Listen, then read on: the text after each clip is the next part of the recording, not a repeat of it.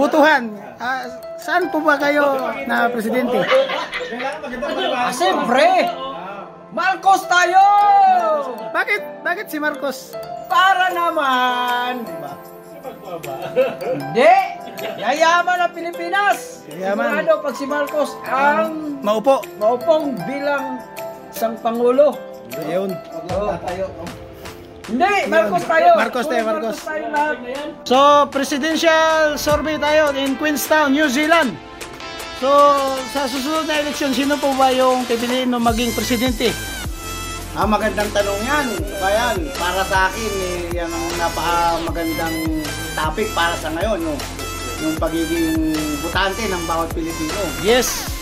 Eh, para sa akin, masyadong marami ang pagpipilian ngayon para sa presidente. Nandiyan si Lacson, nandiyan si Bongbong, nandiyan si Manila Mayor Isko, Isko Moreno, Pacquiao. at nandiyan si, si Manny Pacquiao. Eh, isa-isayin natin sa mga kategory para mapagpilian ng mga taong bayan ng dapat nilang piliin. Kung Yes. kay Yorme, eh, maganda-ganda rin naman ang ginawa ni Yorme sa Maynila. Ang ano lang yan, madadala kaya niya pagdating sa national na ano ng paghawak ng buong bansa. Kasi ang Mm. pinag-uusapan natin dito, buong Pilipinas, hindi lang ang Maynila.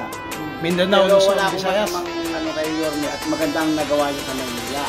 Ito kay Manny Pacquiao naman, eh, pambansang kamao natin yan. Eh, siyempre, iniidolo na ang lahat yan. Kaso nga lang, hindi boxing ang pinag-uusapan natin dito eh. Ang pinag-uusapan natin dito is ang kinabukasan ng bansa natin na Pilipinas. Para sa akin siguro ang pipiliin ko ay si Marcos. Marcos. Bakit? Bongbong Si Marcos. Bongbong Marcos yung pipiliin mo.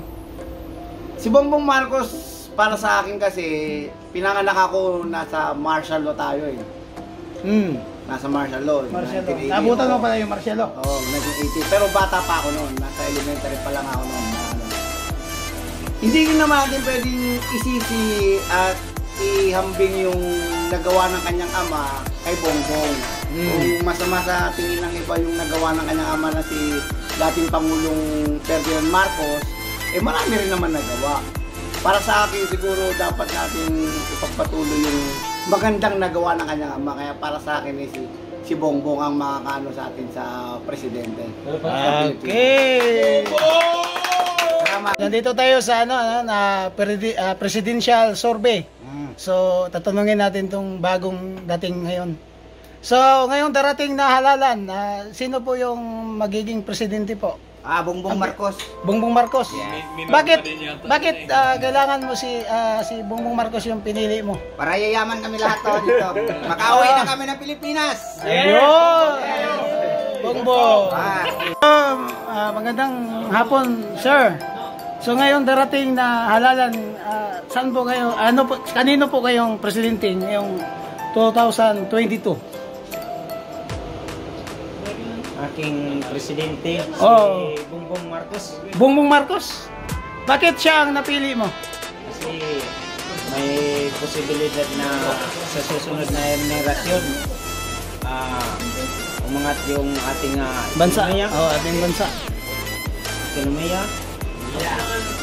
lumakas natin yung mga ah,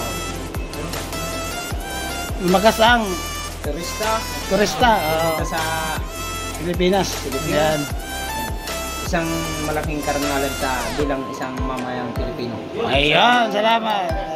Bilang po sa presidential na mga tumatakbo. Oo. so, sino po yung pipiliin nyo na tumatakbong presidente sa Pilipinas? Sino ba yung mga presidente na? Pacquiao, Bongbong, Lini, ah, Isko, Lacson. Doon ako kay Bongbong. Bongbong. Alam mo kung bakit? Bakit? Ah, yun. Yun ang gusto ko. Yan ang gusto ko. Tanong. Bakit gusto mo si Kasi- Bongbong? Pag naging presidente si Bongbong, talagang kakapal na tong buhok ko. yun lang. Okay, ah, ito ah, ah, presidential survey. So, boss, ah, ah, sino yung pipiliin mo sa susunod na magiging presidente ng Pilipinas? Marcos. Marcos? Bakit? Si Marcos yung napili mo?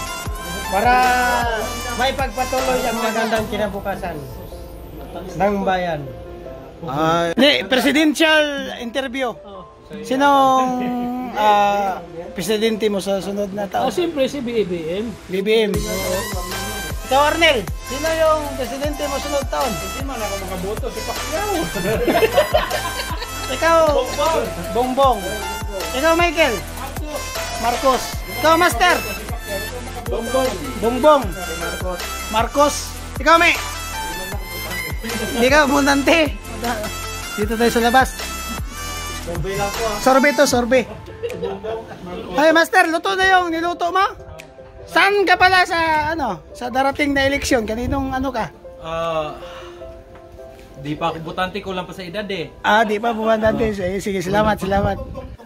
Wisdom Museum OFW Bobo Marcos